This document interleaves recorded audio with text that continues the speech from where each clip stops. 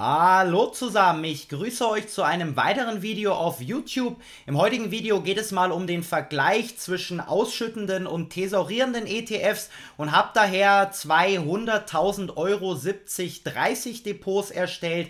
Einmal ausschüttend, einmal thesaurierend und zeige euch, wie sich diese zwei Depots in den letzten 10 Jahren entwickelt haben.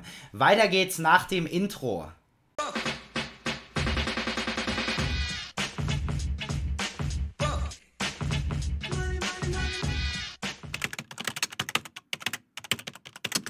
So, jetzt sind wir hier einmal in der Ausgangssituation ähm, und zwar diese beiden Depots wurden quasi erstellt oder das Investment wurde getätigt am 1. September 2012. 100.000 Euro jeweils sind die Depots groß gewesen. Die Strategie ist 70-30, das heißt 70% in den MSCI World, 30% in den MSCI Emerging Markets. Die meisten von euch sollten diese Aufteilung, diese Strategie kennen. Finanzfluss hat sie geprägt, würde ich mal sagen. Und was bedeutet sie konkret? Einmal 70% MSCI World, das heißt eben ein ETF, welcher Industrieländer beinhaltet. Das sind dann Länder wie zum Beispiel Amerika, UK, Japan oder auch Deutschland. Und 30% des Portfolios sollten MSCI World ETF ausmachen. Das sind dann eben Schwellenländer, Schwellenländer wie zum Beispiel China, Indien oder auch Taiwan. Und wie am Anfang des Videos schon gesagt, haben wir zwei Varianten. Einmal die ausschüttende Runde, also beide ETFs, einmal der MSCI World, einmal der MSCI Emerging Markets, ausschüttend und einmal thesaurierend, also quasi Gewinne reinvestierend. Jetzt gehen wir kurz mal rein. Bevor wir reingehen, wollte ich euch erst nochmal hier die Ausgangssituation zeigen, welche ETFs auch es geworden sind. Ich habe darauf geachtet, dass beide ETFs ungefähr miteinander vergleichbar sind. Also alle vier sind es ja am Ende. Es sind zwei MSCI Worlds, zwei MSCI Emerging Markets, einmal eben jeweils oder jeweils einmal ausschüttend, einmal thesaurierend. Ähm, bei der ausschüttenden Variante, das seht ihr hier an DIST, für, steht für Distributing, habe ich den iShares MSCI World eben Kaufdatum 1. September 2012, 7030 heißt eben 70% in den MSCI World investiert. Zu einem Kurs damals 21,60 Euro waren eben knapp 3240 und ein paar zerquetschte Anteile. Und der MSCI Emerging Markets, das war ebenfalls der ausschüttende Distributing, auch von iShares, ähm, waren dann eben 30.000, waren knapp 10.000, äh, 1.010 und paar zerquetschte. Und jetzt gehen wir hier nochmal eben, warum hier nochmal die weiteren Ausschüttungen sind natürlich alles hier Ausschüttungen bei den Transaktionen da gehen wir auch noch rein. Und einmal hier die tesorierende, etwas langweilig, waren nur zwei Transaktionen in den letzten zehn Jahren. Einmal eben den iShares MSCI Emerging Markets. ACK für Accumulating, 30.000, eben 30 Prozent, waren dann 1.366 Anteile und ein paar zerquetschte. Und einmal der iShares Core MSCI World, eben 70.000, 70 Prozent waren dann 2.903 und ein paar zerquetschte. Jetzt gehen wir erstmal in die Übersicht rein bei beiden. Wie hat sich denn ähm, dieses Portfolio, diese zwei Depots in den letzten zehn Jahren entwickelt? Wir haben einmal das 7030 Depot, das hat jetzt aktuell ein Portfoliovolumen von 230.000 und zudem haben wir noch auf dem Verrechnungskonto, weil es ja eben die ausschüttende Variante ist, eine Ausschüttung von 28.000. 366. Fairerweise muss man hier natürlich sagen, das wäre jetzt brutto. Wenn man es netto haben möchte, musste man ungefähr wahrscheinlich noch so 4000 roundabout, schätze ich jetzt mal, abziehen. Ähm, warum nur 4000? Alle denken jetzt, uh, es sind ja 25% roundabout die Steuer. Das müssten ja dann eigentlich bei hier knapp 30.000, müssten es ja dann irgendwie 7.500 sein. Zeige euch gleich aber warum, weil es eben ja den jährlichen Steuerfreibetrag gibt und der natürlich jedes Jahr auch dazu führt, dass ein Teil, und zwar 801 Euro, ähm, jetzt mal dahingestellt, ob es Kapitalerträge durch Verkäufe sind, also durch Gewinne, realisierte Gewinne oder eben ausgeschüttete Dividenden, entweder durch Dividendenaktien oder eben durch ausschüttende ETFs, ähm, hat man ja 801 Euro Freibetrag im Jahr und deshalb würde natürlich hier ähm, nochmal ein etwas größerer Teil steuerfrei am Ende sein. Jetzt schauen wir hier einmal rein, wie hätte sich das thesaurierende Portfolio entwickelt. Da wäre man jetzt Stand heute bei einem Portfoliovermögen ähm, von 272.000. So gesehen unterm Strich wäre man also jetzt nur wenn man das Portfolio hätte, Dividenden so gesehen, jetzt nicht den Blick aufs Verrechnungskonto wagen würde, wäre man beim ausschüttenden Portfolio bei plus 130% auf die 10 Jahre und beim thesaurierenden auf beim, beim tesorierenden Portfolio-Depot bei 100, also plus 172 Prozent auf die letzten 10 Jahre. Ähm, liegt natürlich ganz klar daran, man sieht hier schön, dass einfach auch die, ähm, der Zinseszins wirkt, weil natürlich bei tesorierenden ETFs wird die Dividende natürlich nicht ausgeschüttet. Deshalb hier, wo man hier bei den Ausschüttenden eben eine Ausschüttung hat, hat man hier bei dem tesorierenden eben keinerlei Ausschüttung, weil eben die erhaltene Dividende, die man bekommen würde, wird eben reinvestiert, wird direkt vom iShares, ähm, in dem Fall, wir hatten jetzt hier zwei iShares ETFs, wird eben direkt von iShares einbehalten und eben in regelmäßigen Abständen reinvestiert, eben neue Anteile dafür gekauft. Das heißt, oder neue Aktien eben gekauft. Ähm, das heißt eben, dass der gesamte Wert an Anteilen so gesehen mehr wird. Deshalb hat man jetzt hier am Ende auch eine bessere Performance. Wenn man sich jetzt hier mal unterm Strich anschauen würde, wäre jetzt hier Genau, das sieht man bei Portfolio. Wäre jetzt hier bei Portfolio, wenn wir jetzt hier mal einmal die thesaurierende Variante hat und einmal hier die ausschüttende Variante hat, ist es tatsächlich recht ähnlich von der Performance. Klar, sie sind nie 100% gleich, weil es trotzdem immer noch ein bisschen separate ETFs sind, auch wenn sie beide von iShares sind, auch wenn sie beide genau gleich heißen, ähm, hat zum Beispiel der thesaurierende MSCI Emerging Market beinhaltet in den Top 10 mehr ETFs, also beinhaltet zum Beispiel ein China ETF. Das kann ich euch kommen, mal, das zeige ich euch mal kurz, ähm, dass ihr versteht, was ich meine. Genau, hier den MSCI Emerging Markets. Genau. Ah, sorry, es war tatsächlich doch der ausschüttende.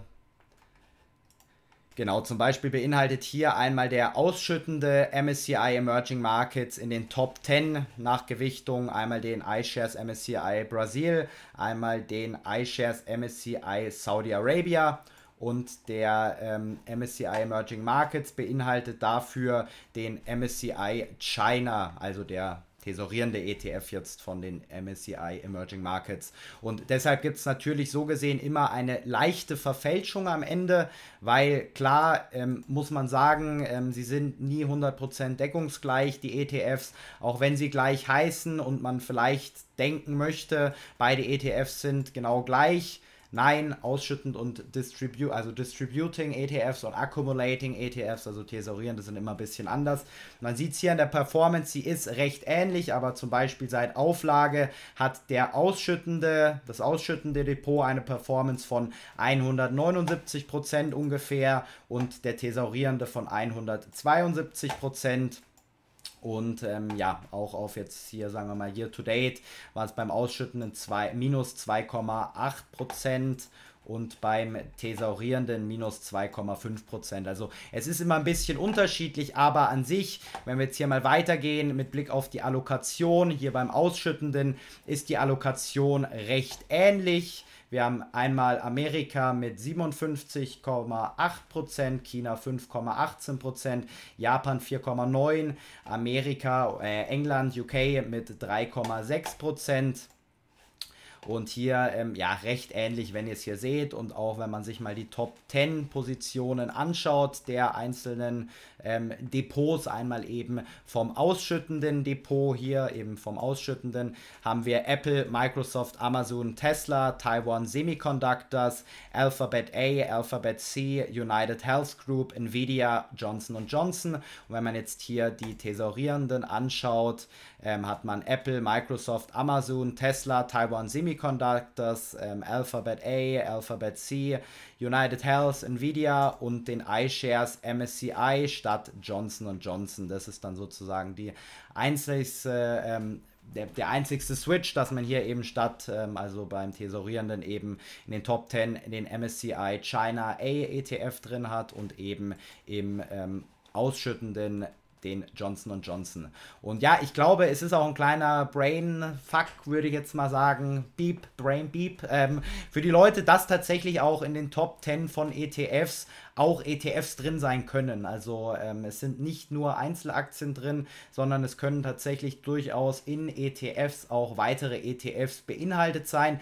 Das macht das Ganze natürlich vielleicht ein bisschen undurchschaubarer, weil es natürlich etwas schwieriger ist, wenn man jetzt sagt, hey, die Top 10 besteht aus den 10 Aktien, ähm, dann kann man die 10 Aktien recht gut definieren. Wenn man jetzt aber sagt, hey, die Top 10 besteht aus 10 ETFs, dann wird es schon mal ein bisschen schwieriger, da durchzublicken, ähm, auch inwieweit es Überschneidungen gibt gibt oder keine Überschneidungen gibt. Und genau, das wollte ich jetzt kurz nochmal als kleinen Nebenfakt sagen.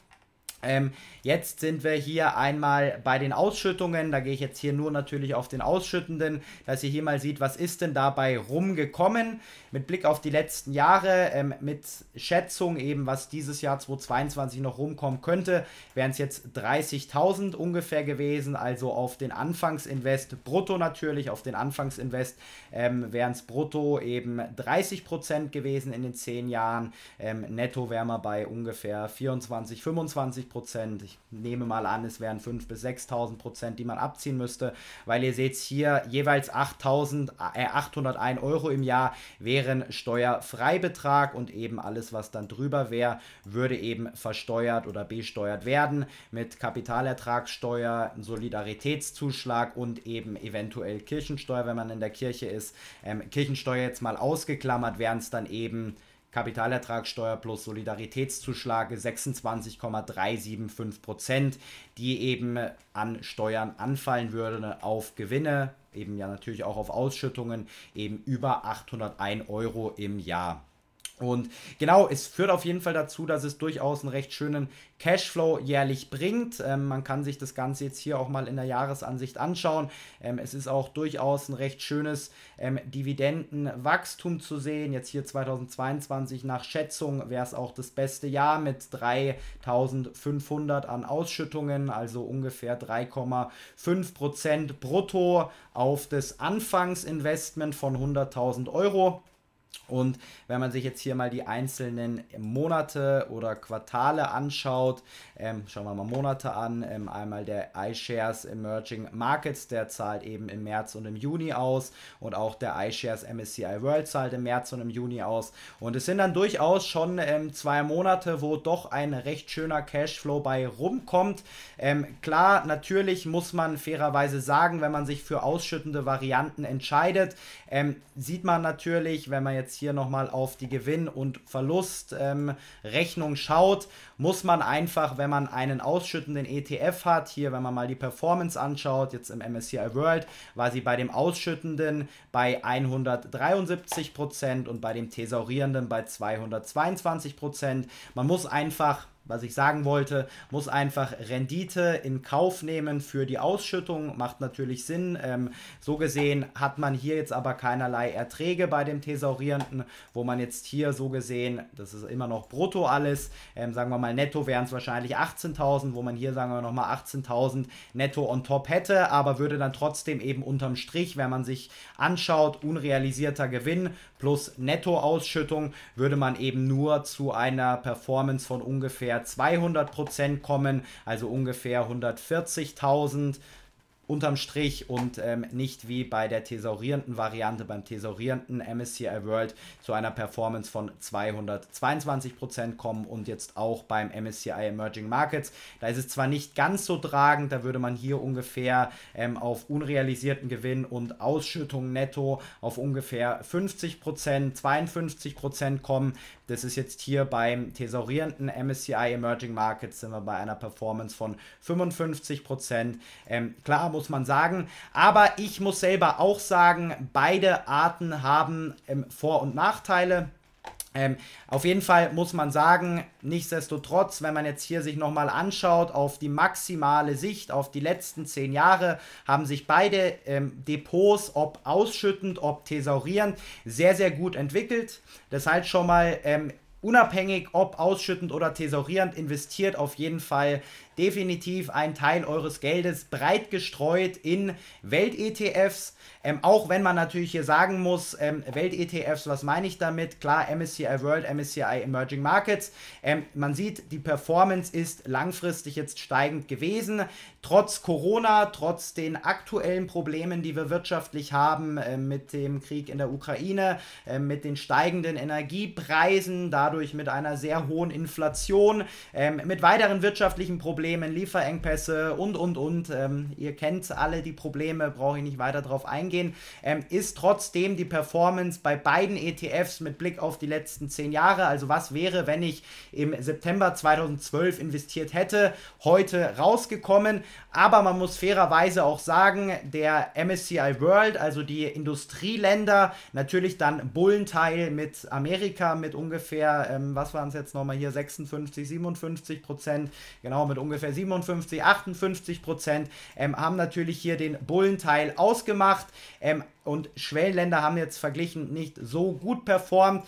Ich bin selber, wisst ihr alle, ein Fan von trotzdem Mischung, macht ähm, ein Teil Schwellenländer, macht ein Teil Industrieländer. Ähm, es hat sich beides gut performt. Klar, Schwellenländer nicht ganz so gut, aber meiner Meinung nach, wir sind auch gerade an einer Phase, wo es mich nicht wundern würde, wenn vielleicht ein paar Schwellenländer durchaus ein paar Industrieländer im Schnitt outperformen würden, was ein Wirtschaftswachstum angeht. Ähm, wer weiß, vielleicht ist in zehn Jahren auch China eine Weltmacht Nummer eins und nicht mehr ein Amerika. Schreibt mir gerne mal in die Kommentare, was ihr davon haltet. Ähm, zudem würde ich auch gerne mal wissen, ähm, ob ihr mehr auf thesaurierende oder auf ausschüttende ETFs setzt. Ähm, ich habe jetzt hier mal eben euch den Vergleich gezeigt. Klar, renditetechnisch hat natürlich der thesaurierende, das thesaurierende Depot gewonnen im Vergleich zum ausschüttenden Depot. Aber was man natürlich auch sagen muss, beim Thesaurierenden hat man natürlich keinerlei Ausschüttung, was ja auch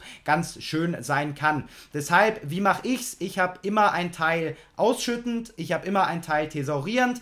Ähm, thesaurierend sind bei mir vor allem eben ETFs, muss ich fairerweise sagen, aber natürlich auch die ganzen Wachstumsaktien, die keine Dividende ausschütten. Was ist bei mir ausschüttend?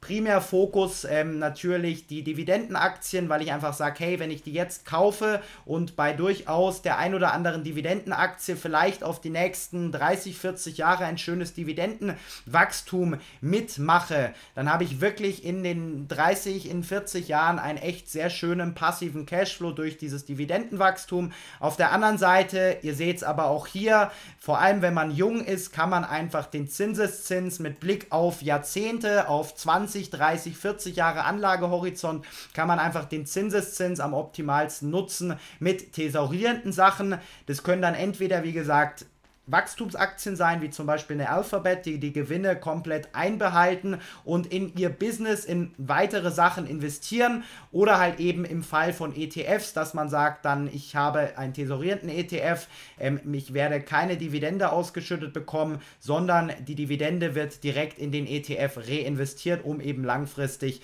das meiste aus dem Zinseszins rauszuholen. Und ich bin wie gesagt ein Fan von die Mischung macht's 50-50. Ähm, deshalb schreibt mal gerne rein unten in die Kommentare, wie ihr es macht. Ähm, Würde mich natürlich auch gerne freuen, wenn ihr mir ein Like da lasst, wenn euch das Video gefallen hat. Das freut mich, das freut den YouTube-Algorithmus, ähm, das freut alle. Deshalb zudem freue ich mich natürlich auch wie jedes Mal über jedes Abo, jede Glocke, die geklickt wird. Dann verpasst ihr keine Videos mehr von mir. Hier werden noch viele weitere coole Videos ähm, erscheinen. Und genau, freue mich natürlich wieder, wenn ich euch beim nächsten Mal begrüßen darf. Und bis dahin, ciao, ciao.